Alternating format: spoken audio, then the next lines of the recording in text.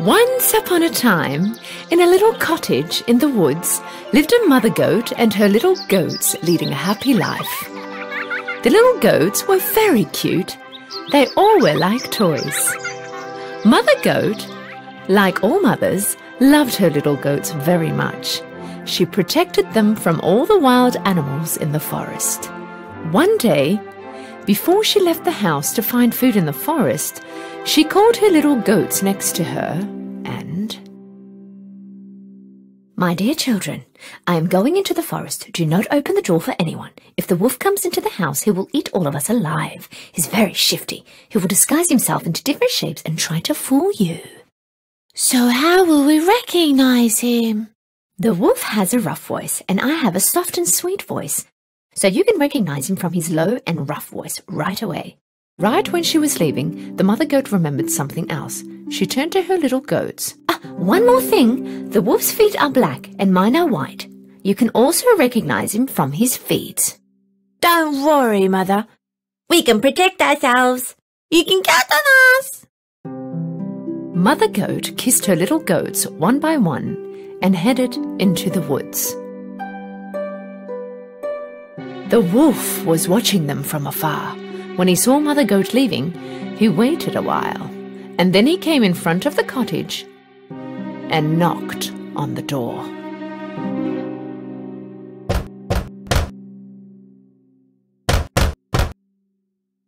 Who is it? Little goats, open the door. Your mother is here. I brought nice food for you all. But the little goats recognized the wolf's rough voice right away. Without opening the door, they yelled out, You're not our mother. Her voice is sweet and more beautiful. You're the wolf. You can't fool us. The wolf got very angry because he could not fool the little goats. So he went to the shop, bought a big piece of chalk, and ate it. Now his voice sounded much softer. So he went back to the cottage and knocked on the door again. This time the wolf started to talk with his soft voice. My little goats, open the door. It's your mother. I brought food from the forest for all of you. Hearing the wolf's soft voice, the little goats thought that it was really their mother this time. Just when they were about to open the door, one of them shouted, Wait, wait! Let's look at the feet from underneath the door. Of course, when the little goats looked from underneath the door, they saw the wolf's black feet. So they yelled again without opening the door. We will not open the door for you. Our mother's feet are not black. They are white. You're the wolf. As furious as he was, the wolf left. This time, he went to the bakery. When the baker saw the wolf in front of him, he was very surprised. I'm a vegetarian now, so I will eat pastry from now on. Could you give me some flour? The wolf came out of the bakery with a little sack of flour. When he got near the cottage, he opened the sack and poured all the flour on his feet. Now his feet were all white. The shifty wolf knocked on the door for the third time. My little goats, open the door. It's your mother. I have brought food for all of you from the forest. First, show us your feet so we know it's you, Mother. The wolf showed them his feet with flour. When the little goats saw the white feet, they believed that it was their mother and opened the door. And what did they see? The wolf was standing right there in front of them. The little goats did not know what to do. They started to run around yelling. Don't waste your time. I will catch all of you. One of the little goats went under the desk, the second one into the bed, the third one into the chimney, fourth kid hid in the kitchen, the fifth one got into the closet, the sixth hid behind the curtain, and the seventh kid went into the giant clock on the wall. But the shifty wolf was quick, and one by one he caught them all from wherever they were hiding. Run! Run! Come here. Don't run. I will catch you all. I said stop.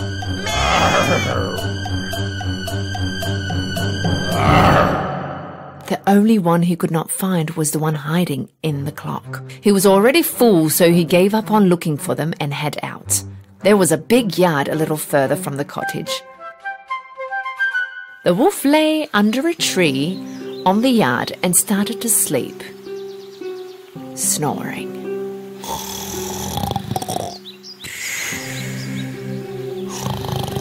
Short while after, the mother goat returned home. When she saw the door open, she knew something bad had happened and started to scream.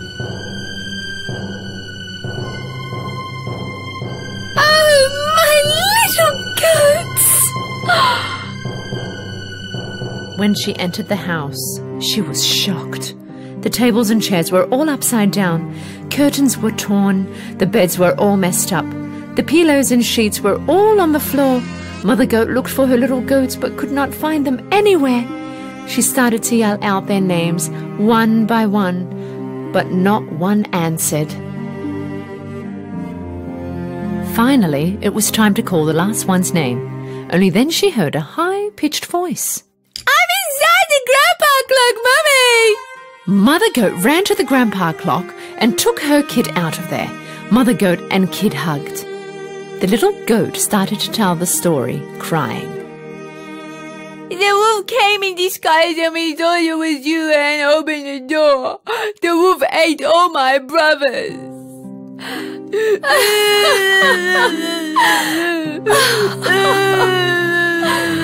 oh, darling. Mother Goat was very upset.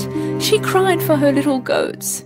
With only one of her kids remaining, she walked out and started to go towards the yard. After a while, they saw the wolf sleeping under a tree. He snored so bad that the branches of the tree were shaking. Mother Goat observed the wolf for a while. She realized that inside his tummy, some things were moving. Oh my god! Can it be that my goats are in his tummy and they're still alive? She had a plan. She turned to her kid. Run home, bring me a needle, thread, and the scissors. When the little kid was running home, Mother Goat collected six big rocks from the floor. After a while, the little goat came back with a needle, thread, and the big scissors. Mother Goat cut open the wolf with the scissors. She saw one of her little goats right away. And then the other ones started to appear one by one. They were all healthy. Mother Goat couldn't stay still from the joy she had. All the little goats hugged their mothers with joy. Mama, Mama, we love you! Oh, Mama, Mama, Yay! Oh, Mommy, we oh, love you, love you! They were all full of joy. My little goats, you're safe! Mother Goat put the rocks she collected carefully inside the wolf. Then she stitched his tummy with the needle and thread. The wolf was sleeping so deep he'd not feel anything. He did not move.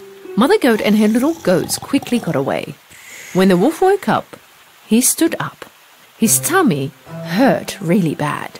He thought to himself that it was because he ate too many goats.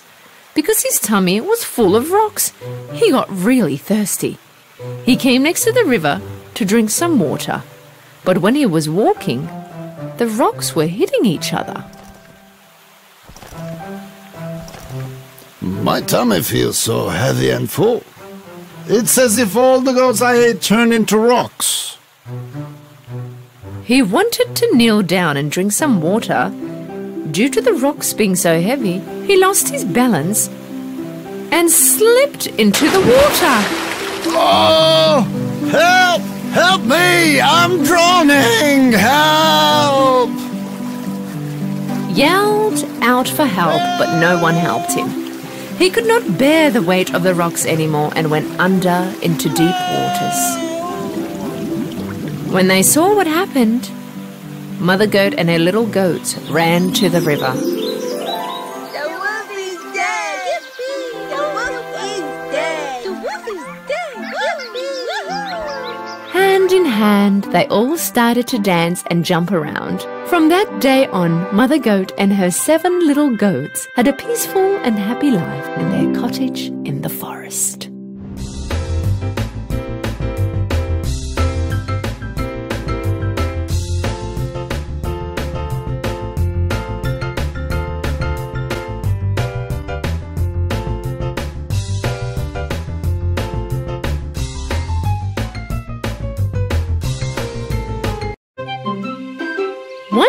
Time, there lived three piglets with their mother in a small house. It was time for them to leave their home and learn to live on their own. Their mother called the three piglets next to her. My dear children, the time has come for you to go out into the world. Go and start your new lives. But don't ever forget, whatever you do in this world, do the best you can. This is the only and the best way to stay alive. A little sad with a bit of excitement, the three little piglets said their goodbyes to their mummy and were on their way. After a while, they found some piece of land where they could build their own home.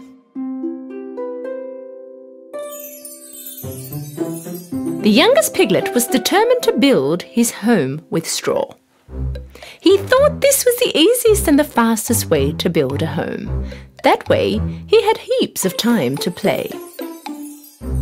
The youngest of them all finished his house in one day. He yelled out to the other piglets, Hey, you guys, I'm already finished!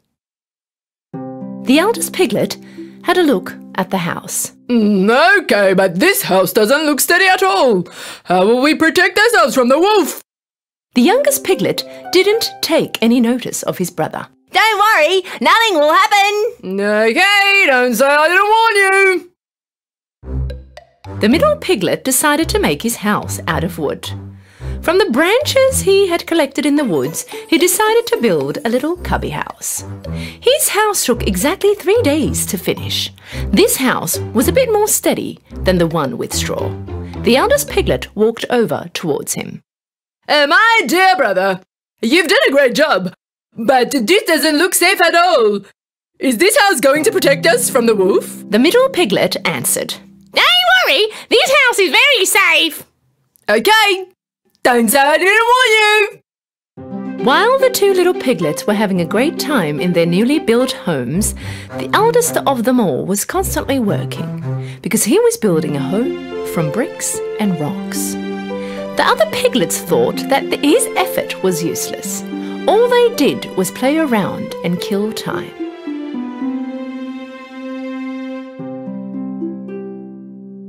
Why would you bother with this when you can quickly finish like we have? He, how scared is he? The eldest piglet didn't bother listening to them. He worked for one whole week and managed to finish his house made out of bricks and rocks. A day later, a hungry wolf arrived near their home. He first stood in front of the house made of straw. The little piglet was resting in his house made of straw. The wolf knocked on the door.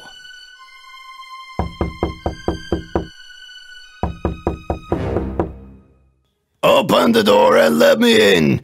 If you don't, I'll huff and puff and blow your house in. You can't do anything to me. My house is steady enough. And so the wolf huffed and puffed, and he blew his house in.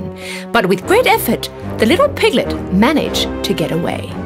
And off he ran over to his brother's house made from tree branches. He knocked on the door, and when the middle piglet opened the door, the little piglet threw himself inside the house. Hey, close the door. The wolf can come in here. Don't worry, he can't do anything to us in this house. After a while, the wolf came by the second piglet's wooden house and yelled inside. Open the door and let me in. If you don't, I'll huff and puff and blow your house in. You can't blow my house in. And so the wolf huffed and puffed and he blew his house in. and brought it down. Both piglets ran to the third piglet's house and barely got away from the wolf. The wolf is going this way. What are we going to do? The oldest piglet answered, very sure of himself.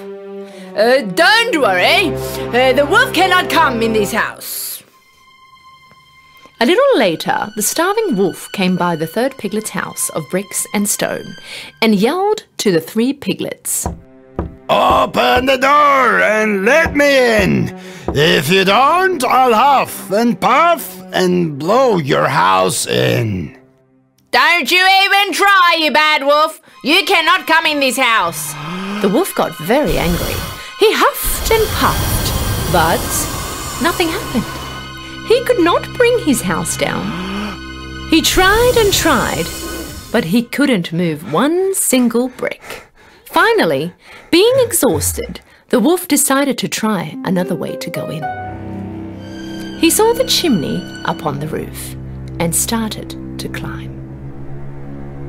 Realizing that the wolf was going to climb up on the roof and come down the chimney, the piglet quickly lit up the fireplace right under the chimney and put a big bucket of water on the woods.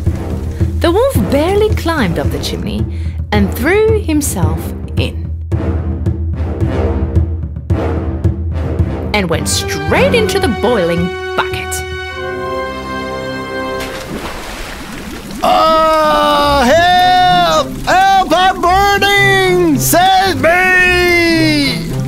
Oh, help! Finally, being free from the wolf, the piglets hugged each other with joy. The three piglets went to their mother's house the next day to tell her all that had happened. The youngest one came next to his mother. You were right, Mummy. Whatever we did in this world, we have done it to our best. If you really work for something, it will be a success.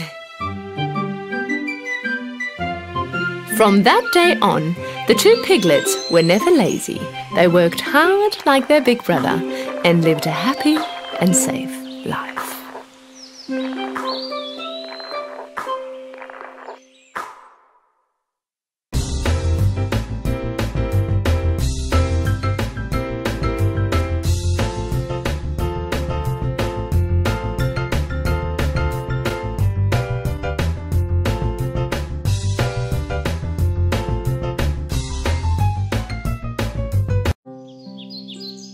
On a little farm lived a cute duck family.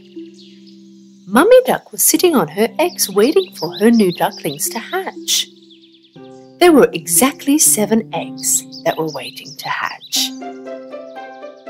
One sunny morning, the eggs began to hatch.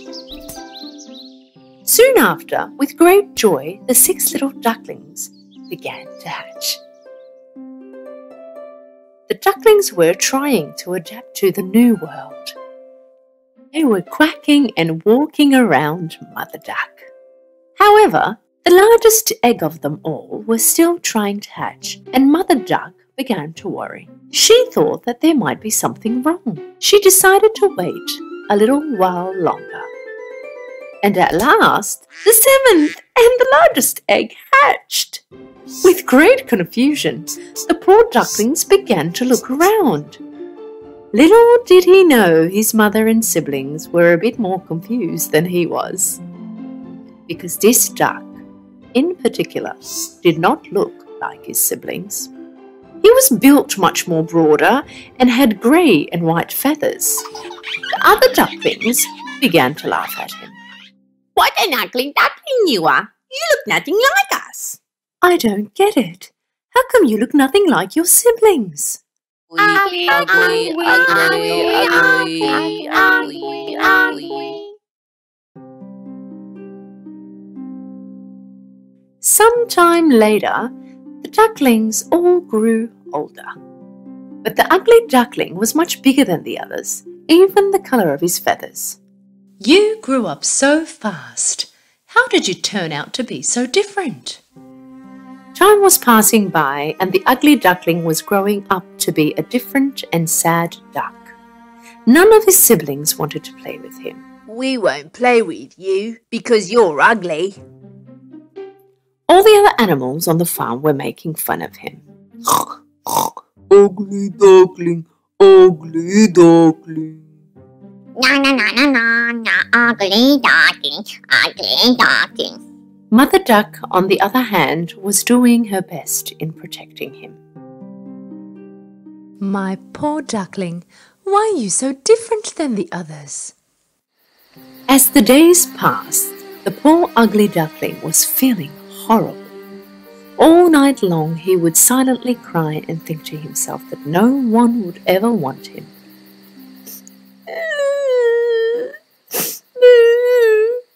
Why am I so ugly?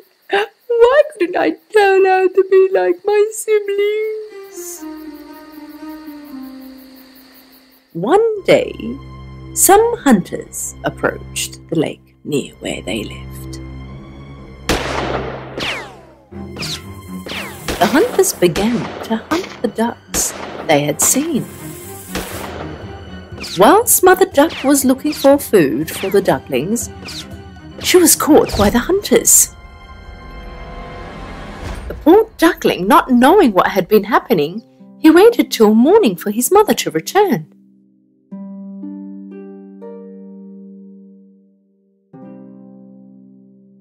Poor duckling didn't know what to do. First, he went next to the dog, and the dog told him to go. Go away. No one should see me talking to an ugly duck like you. A while later, he went next to the chicken, but the chicken also made fun of him. Even I'm better looking than you. Ugly Duckling was very sad. No one wants me here. If my mother isn't coming back, there's absolutely no reason for me to stay on this farm.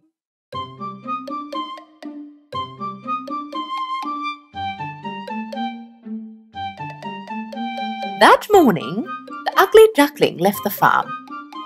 He swam to the other side of the lake. He asked the same question to all the animals he bumped into along the way. Do you know of any duck that looks like me? Do you know of any ducks that look like me? Do you know of any ducks that look like me? He received the same answer from all of them. They had never seen such ugly duck before. Poor Duckling began his journey and reached another lake once he was there. He asked the same question to the geese. You mustn't stay here like this. There are hunters around. Quickly get away from here. Go on, now go. The ugly duckling began to move along. Soon after, another lake appeared. This time he was all alone. There was no one to be seen. Well then, if nobody wants me, I will hide here forever.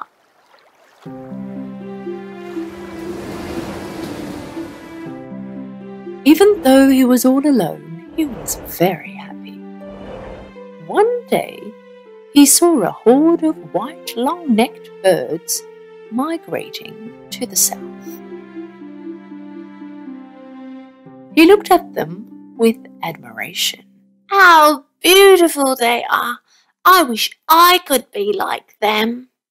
Winter had come and snow had begun to fall. The ugly duckling fell in love with the sight of his first ever snow.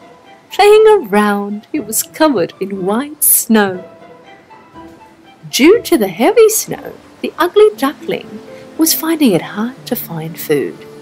So off he went walking around trying to find food. He was cold and tired. Meanwhile, he came across a farmer. The farmer felt sorry for him and gave his jacket. You poor thing, how cold you are. I will take you home and look after you until you grow.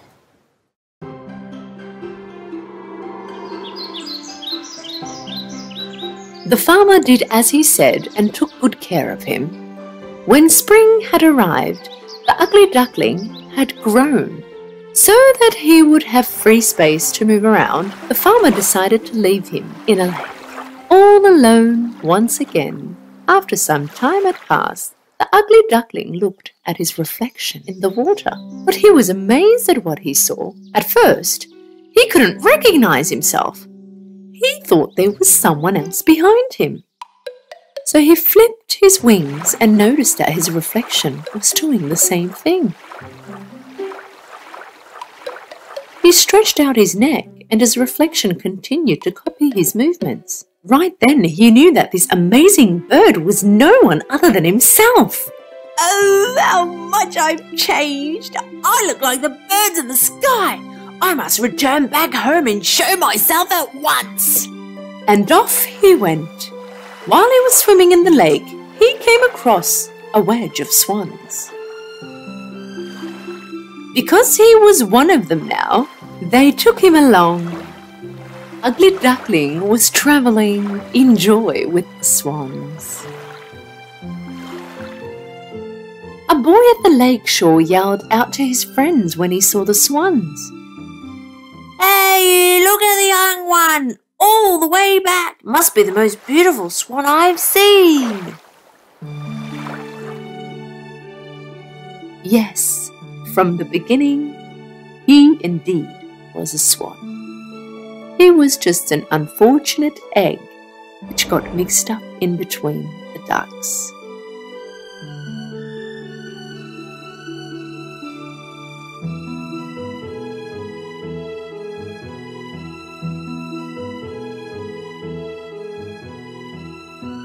But now he was with his real family, and ahead of him was a happy life.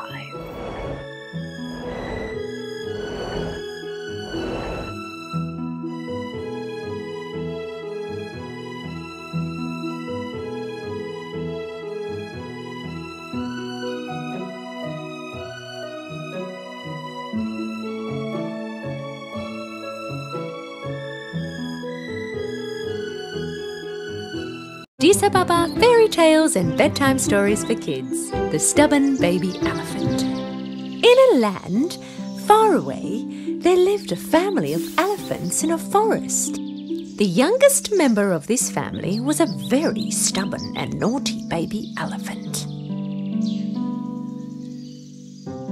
One day, when his parents were going for a walk, they yelled after him.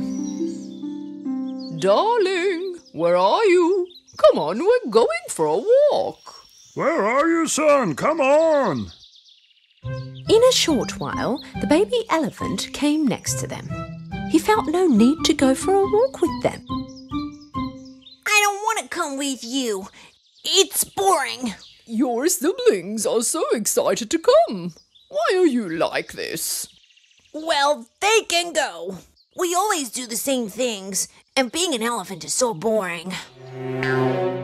Mama and Papa Elephant were very surprised by the last words of their baby, but did not want to show it. Hmm, alrighty then. As you wish. Don't move from here, we'll be back before dark. Sure, as always. His family left the little stubborn elephant alone and went away. The baby elephant played on his own for a while. But soon after, he began to get bored. The more bored he was, the more mad he had become. I don't want to be an elephant anymore. It's bad to be an elephant. I wonder what I should be. Right that moment, he noticed a jumping and hopping gazelle. And so he made up his mind. Yeah, yeah, I should be a gazelle, fast and agile. The baby elephant tried to copy the gazelle and jumped around. But his big and lumpy feet got tangled and he fell down, head first. And of course, it hurt a little. It's not fun being a gazelle. The baby elephant began to go further into the forest. He came amongst the tree where the monkeys were playing. They were jumping from one branch to another, having so much fun together. So he thought to himself, The monkeys have so much fun. I should be a monkey. So he yelled out to the monkeys, Hey, monkeys! Look at me! I'm also a monkey! Play with me too! The monkeys stopped for a little while and looked at the baby elephant. And then they all went down from the tree and surrounded him. One jumped on him, one pulled his ear, one hung on his trunk, and the last one threw a coconut on his head. Baby Elephant was stunned and he couldn't run away jumping to a branch like the monkeys. They really hurt him. He could not play with the monkeys. Finally, he got rid of them with his trunk and ran away as fast as he could. The baby elephant began to move further into the forest. This time round, he saw a squirrel on a tree. The squirrel plucked a chestnut from the branch and went back into his burrow. What a cute animal! Because he's small, he can get in and out of everywhere. Yes, I should be a squirrel. The baby elephant tried to climb up the tree and, of course, failed. So he poked his trunk into the burrow. The poor little squirrel was so frightened that it jumped out as fast as it could. The baby elephant tried to put his head into the burrow this time, but his head got stuck. It was very hard for him to take it out. I'm just not fit to be a squirrel. The trees are too small. The baby elephant was now too far from home. A little further, he came across a beautiful parrot. The parrot was flying from one tree to another. The baby elephant enjoyed watching this. He came closer. I want to be a parrot too. Can you teach me to fly? Of course I can. Together, they went to a high cliff next to a lake. Now watch me and see how I fly. The parrot opened his wings and jumped. He was gliding in the sky. The baby elephant copied him and went down the cliff. As the parrot flew with his wings, the baby elephant fell down from thin air and landed in the lake. Thankfully, he managed to get out and make it to the shore. He was covered in mud and his whole body was in pain. The parrot flew next to him. You should stay being an elephant, my friend. Right at that moment, a baby bird sitting on the cliff fell out of its nest and disappeared in the lake. In a panic, Mother Bird flew next to her baby where it had disappeared. She was flying above the water and yelling. Help! Somebody help! Save my baby! Help! Baby Elephant went in the water that instant, put his trunk in, and began to search for the baby bird. After a few seconds went past, he took his trunk out, and the baby bird was right there on the tip of his trunk. She's alive! She's alive! The baby elephant carefully put the baby bird down by the lake. Mother bird flew and came next to them. Thank God you were here! If it weren't for you, she would have drowned! Hearing these words, the elephant was very happy. He felt worthy. If I weren't an elephant, I couldn't save this baby bird, he thought. I think I'm meant to stay as an elephant. It was almost night time. The elephant was very far from home now. He was super impatient about this. On his way back, he saw the parrot flying in the sky, the squirrel taking his head out of the burrow, the monkey swinging from one branch to another, the very fast gazelle that ran past him. But he thought of nothing other than how much he had missed his family and how much he made them upset with his silly stubbornness. All he wanted to do now was to apologize.